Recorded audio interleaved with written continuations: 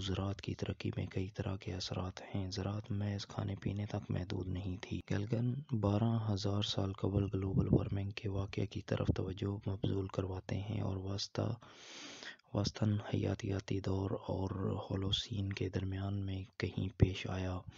موسم زیادہ گرم اور زیادہ مرطوب ہو گیا۔ ہم اس مرحلے پر پہنچ چکے تھے جہاں ہمارے لیے پورا لباس اتار پھینکنا ممکن نہ رہا تھا، خود کو ٹھنڈا رکھنے کے لیے ہم مجبوراً جانوروں کی کھال سے کپڑوں کپڑوں تک آ گئے۔ روئی خود بخود ایک بیش قیمت تجارتی چیز بن گئی۔ بالکل جیسے منقطع حرہ کے خطوں کے لیے، جنگلی کیلے کے ریشے، ہم اناج بھی اگا رہے تھے، لیکن ہماری زیادہ توجہ ایسی اجناس اگانے پر تھی جس سے کپڑے بنائے جا سکیں۔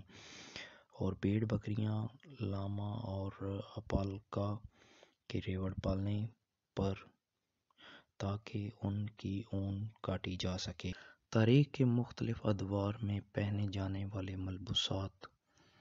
گیلگن کہتے ہیں کہ یہ سمجھنا کافی مشکل ہے کہ قبل از تاریخ کے عہد میں گھوم پھر کر شکار کرنے والے انسان نے محض خوراک کے حصول کے لیے کیوں زراعت کا پیشہ اختیار کیا ہوگا؟ اور شاید اس نے ایسا بھی نہ کیا ہو۔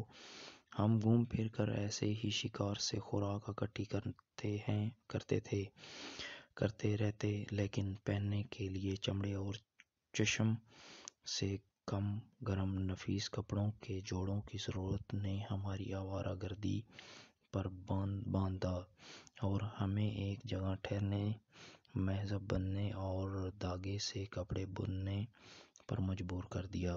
لوگ جو کچھ پہنتے ہیں، اس کا ذکر بائبل اور قرآن میں ملتا ہے۔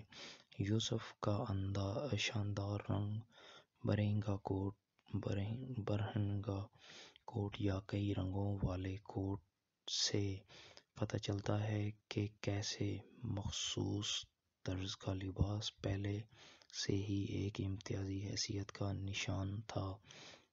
یا بآسانی حسد اور تشدد ابھار سکتا تھا، اس کے علاوہ کپڑے تیار کرنے والے اوزاروں کا ذکر بھی شامل تھا۔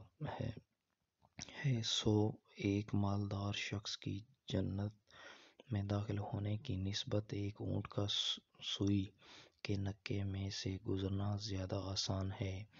ریشم دنیاوی مال و دولت کی علامت ہے اگر دانائی کی نہیں تو۔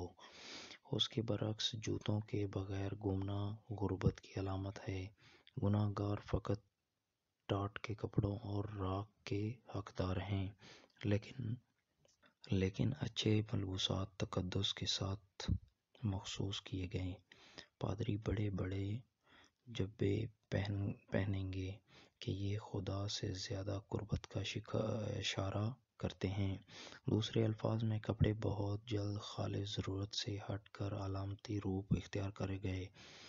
اس طرح اس کے برعکس ہوا کہ بالکل ہی مادر، زاد ننگا پھرنا یا انتہائی مختصر مختصراً واجبی سا لباس پہننا جو پاگل پن اور جنسی بے ہودگی کا مترادف ہے۔ اسے ممنوع قرار دیا گیا یا ضابطے کا پابند بنایا گیا، اس بات پر کوئی حیرت نہیں کہ برہنہ پھرنے کے شوقین جنہیں بار بار گرفتار ہوتے رہے، بالخصوص اسکاٹ لینڈ میں، مگر ارتقائی عمل میں ہمارے اندر پیدا ہونے والی شرمساری کی خو کا تعلق محض اس بات سے نہیں کہ ایک بھیانک خواب میں آپ کسی شاہراہ تک پہنچیں اور تب تب اندازہ ہوا ہو کہ آپ نے کچھ پہننا ہی بھول گئے تھے۔ بلکہ لباس لباس کے عمومی رجحان سے ہے۔ اسی طرح ہمارے لباس نے ہمارے سوچنے کے انداز پر بھی اثرات مرتب کیے ہیں۔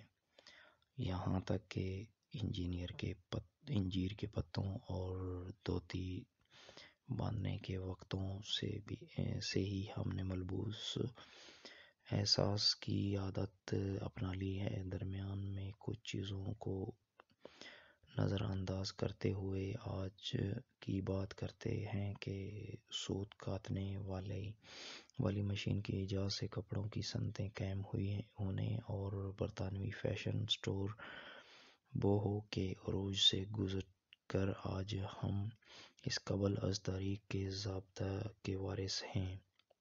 کے وارث ہیں کہ کیا پہنیں اور کیا نہیں۔ شکیلا فوربز بیل فیشن کے شعبے میں ایک ماہر نفسیات ہیں۔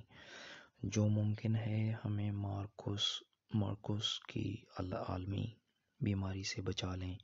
وہ گلے میں جگمگاتا ہوا ہار ڈالا کرتی تھیں، جس پر یہ الفاظ کشیدہ تھے۔ پریشان مت ہوں، خوش رہا کریں۔ اور وہ ایسے کھونے، اور وہ وہ اسے کھونے پر آج بھی سخت افسوس کا اظہار کرتی ہیں۔ وہ ہار کتنی آسانی سے بات شروع کرنے کا موقع فراہم کرتا تھا۔ وہ میرے لیے بند دریچے کھول دیتا تھا۔ بہت سی ٹی شرٹس پر اس اب اصل جملے یا نعرے یا چبھتے ہوئے فقرے لکھے ہوتے ہیں، لیکن ہر لباس کوئی نہ کوئی پیغام دے رہا ہوتا ہے۔ یہ رونمائی جملے بتاتے ہیں کہ کپڑے محبت پھرے بھرے گیت جیسے ہیں، ایک رومانس رومانس کی طرح ہیں۔ ہم اپنے بارے میں جو تصورات رکھتے ہیں، یہ انہیں اندر سے نکال کر باہر لے کر آتے ہیں۔ جیسے منقطع ہارا کے خطوں کے لیے، جنگلی کیلے کے ریشے، ہم اناج بھی اگا رہے تھے، لیکن ہماری زیادہ توجہ ایسی اجناس اگانے پر تھی جس سے کپڑے بنائے جا سکیں اور بھیڑ بکریاں، لاما اور الپاکا کے ریوڑ پالنے پر تاکہ ان کی اون کاٹی جا سکے۔ تاریخ کے مختلف ادوار میں پہنے جانے والے ملبوسات گیلگن کہتے ہیں کہ یہ سمجھنا کافی مشکل ہے کہ قبل از تاریخ کے عہد میں گھوم پھر کر شکار کرنے والے انسان نے محض خوراک کے حصول کے لیے کیوں زراعت کا پیشہ اختیار کیا ہوگا اور شاید اس نے ایسا بھی نہ کیا ہو۔ ہم گھوم پھر کر ایسے ہی شکار سے خوراک اکٹھی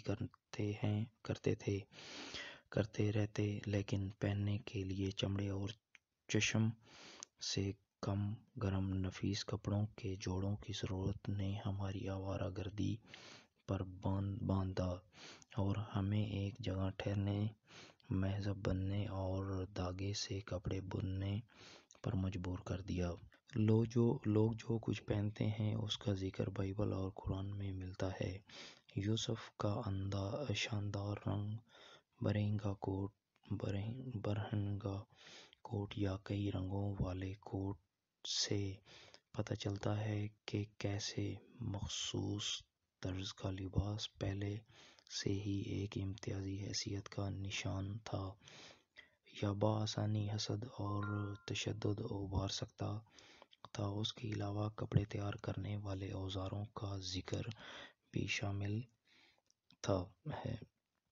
ہے سو ایک مالدار شخص کی جنت میں داخل ہونے کی نسبت ایک اونٹ کا سوئی کے نکے میں سے گزرنا زیادہ آسان ہے۔ ریشم دنیاوی مال و دولت کی علامت ہے اگر دانائی کی نہیں تو۔ اس کے برعکس جوتوں کے بغیر گھومنا غربت کی علامت ہے۔ گنہگار فقط ٹاٹ کے کپڑوں اور راکھ کے حقدار ہیں، لیکن لیکن اچھے ملبوسات تقدس کے ساتھ مخصوص کیے گئے۔ پادری بڑے بڑے جبے پہنیں گے کہ یہ خدا سے زیادہ قربت کا اشارہ کرتے ہیں۔ دوسرے الفاظ میں کپڑے بہت جلد خالص ضرورت سے ہٹ کر علامتی روپ اختیار کر گئے۔ اس طرح اس کے برعکس ہوا کہ بالکل ہی مادر زاد ننگا پھرنا یا انتہائی مختصر، مختصراً واجبی سا لباس پہننا جو پاگل پن اور جنسی بے ہودگی کا مترادف ہے۔ اسے ممنوع قرار دیا گیا یا ضابطے کا پابند بنایا گیا، اس بات پر کوئی حیرت نہیں کہ برہنہ پھرنے کے شوقین جنہیں بار بار گرفتار ہوتے رہے، بالخصوص اسکاٹ لینڈ میں، مگر ارتقائی عمل میں ہمارے اندر پیدا ہونے والی شرمساری کی خو کا تعلق محض اس بات سے نہیں کہ ایک بھیانک خواب میں آپ کسی شاہراہ تک پہنچیں اور تب تب اندازہ ہوا ہو کہ آپ نے کچھ پہننا ہی بھول گئے تھے بلکہ لباس لباس کے عمومی رجحان سے ہے۔ اسی طرح ہمارے لباس نے ہمارے سوچنے کے انداز پر بھی اثرات مرتب کیے ہیں، یہاں تک کہ انجینئر کے پت انجیر کے پتوں اور دھوتی باندھنے کے وقتوں سے بھی سے ہی ہم نے ملبوس احساس کی عادت اپنا لی ہے۔ درمیان میں کچھ چیزوں کو نظر انداز کرتے ہوئے آج کی بات کرتے ہیں کہ سوت کاتنے والی مشین کی ایجاد سے کپڑوں کی صنعتیں قائم ہوئی ہونے اور برطانوی فیشن اسٹور بوہو کے عروج سے گزر کر آج ہم اس قبل از تاریخ کے ضابط کے وارث ہیں کہ کیا پہنیں اور کیا نہیں۔ شکیلا فوربز بیل فیشن کے شعبے میں ایک ماہر نفسیات ہیں۔